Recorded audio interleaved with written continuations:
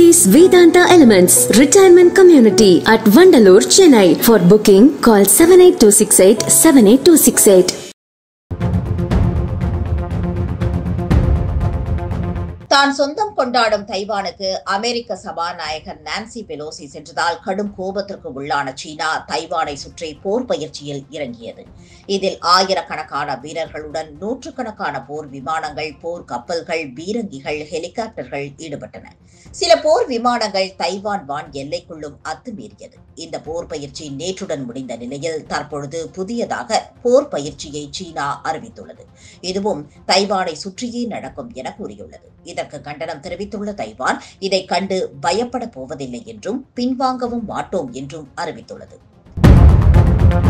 புளோரிடாவில் இருக்கும் அமெரிக்க முன்னாள் அதிபர் டொனால்டு டிரம்பின் வீட்டில் எஃபிஐ அதிரடி சோதனையில் இறங்கியுள்ளது. ட்ரம்ப் அதிபராக இருந்தபொழுது வெள்ளை மாளிகை ஆவணங்களை புளோரிடாவில் இருக்கும் தனது மார்லா லாகோ எஸ்டேட்டிற்கு கொண்டு சென்ற விவகாரத்தில் இந்த சோதனை நடக்கிறது. எஃபிஐயின் இந்த சோதனையை விமர்சித்துள்ள ட்ரம்ப் தனது வீட்டில் நடத்தப்படும் இந்த அறிவிக்கப்படாத சோதனை தேவையற்றது மட்டுமின்றி முறையற்றதும் கூட என்று கூறியுள்ளார்.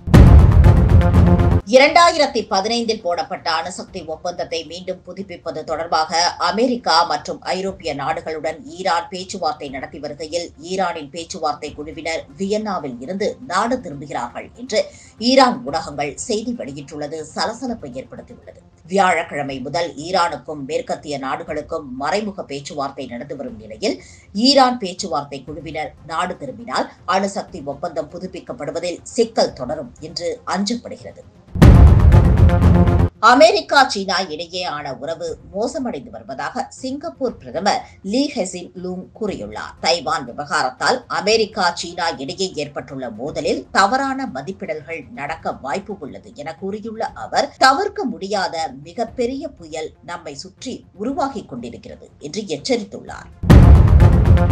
எரிபொருள் பற்றாக்குறையை தீர்க்க இலங்கையில் இந்தியன் ஆயிலின் லங்கா இந்தியன் ஆயில் கார்ப்பரேஷன் புதியதாக பெட்ரோல் பங்குகளை அமைக்க அனுமதி கோரியிருந்த நிலையில் அதற்கு இலங்கை அரசு ஒப்புதல் கொடுத்துள்ளது. இதன் மூலம் புதியதாக ஐம்பது பெட்ரோல் பங்குகளை இந்தியன் ஆயில் அமைக்கும். ஏற்கனவே லங்கா இந்தியன் ஆயில் கார்ப்பரேஷனுக்கு நாட்டில் இருநூற்றி பதினாறு பெட்ரோல் பங்குகள் இருக்கையில் இந்த புதிய விரிவாக்கத்திற்காக இருநூறு கோடி ரூபாயை லங்கா இந்தியன் ஆயில் கார்ப்பரேஷன் செலவிட உள்ளது தான் கைப்பற்றியுள்ள மாகாணங்களில் பிரிவினைக்கான வாக்கெடுப்புகளை ரஷ்யா நடத்தினால் அதனுடன் பேச்சுவார்த்தை நடத்த வாய்ப்பே இல்லை என்று உக்ரைன் அதிபர் ஜெலன்ஸ்கி அறிவித்துள்ளார். டான்பாஸ் மற்றும் கெர்சான் பகுதிகளில் பல்வேறு மாகாணங்களை ரஷ்யா தன் கட்டுப்பாட்டில் வைத்துள்ள நிலையில் அங்கு வாக்கெடுப்புகளை நடத்தவும் திட்டமிட்டு இருந்தது. இதற்கு தற்பொழுது எதிர்ப்பு தெரிவித்துள்ள உக்ரைன் நாட்டின் எந்த ஒரு பகுதியையும் விட்டுக் கொடுக்கப் போவதில்லை என கூறியுள்ளது.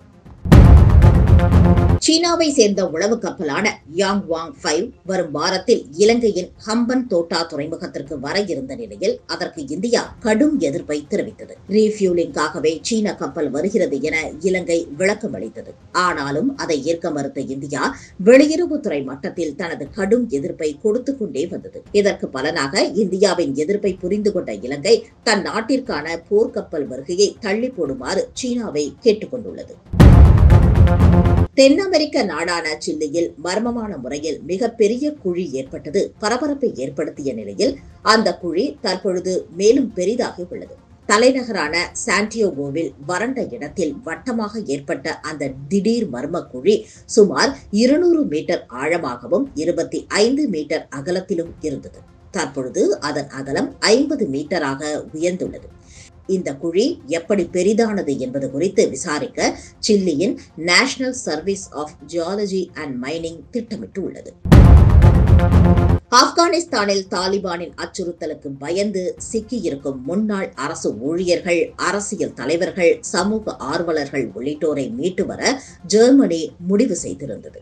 குறிப்பாக ஜூலை முதல் செப்டம்பருக்குள் மட்டும் ஏழாயிரத்தி எழுநூறு பேரை மீட்டு வர திட்டமிட்டு இருந்தது. இந்த நிலையில் முன்னாள் அரசு ஊழியர்கள் உள்ளிட்ட ஆப்கானியர்களை மீட்டு செல்ல ஜெர்மனிக்கு தாலிபான் முட்டுக்கட்டை போடுவதாக பிரபல ஊடகமான டெர் ஸ்பைஜல் செய்தி வெளியிட்டுள்ளது. ஜூலை செப்டம்பர் காலத்திற்குள் ஏழாயிரத்தி எழுநூறு பேரை மீட்டு வர ஜெர்மனி திட்டமிட்டு இருந்தாலும் ஜூலையில் வெறும் ஆயிரத்தி நாற்பத்தி நான்கு பேரை மட்டுமே ஜெர்மனியால் மீட்டு வர முடிந்ததாகவும் அவர்களையும் மிகவும் போராடித்தான் மீட்டு கொண்டு வந்ததாகவும் கூறியுள்ளது. முன்னதாக கடந்த ஆண்டு ஆப்கானிஸ்தானை கைப்பற்றிய பொழுது நாட்டை விட்டு வெளியேற விரும்புபவர்களை சுமூகமாக வெளியேற அனுமதிப்போம் என தாலிபான் உத்தரவாதம் அளித்திருந்தது.